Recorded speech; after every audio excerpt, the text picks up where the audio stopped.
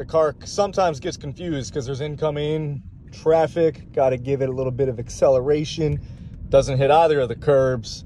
Bang, boom, uh. They're not supposed to use autopilot in parking lots. They never said nothing about FSD. So we got the FSD going. Let's see what happens. Is it going to freak out?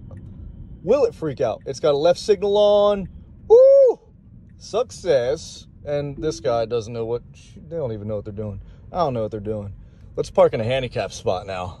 I'm just kidding. I would never do that. Don't do that.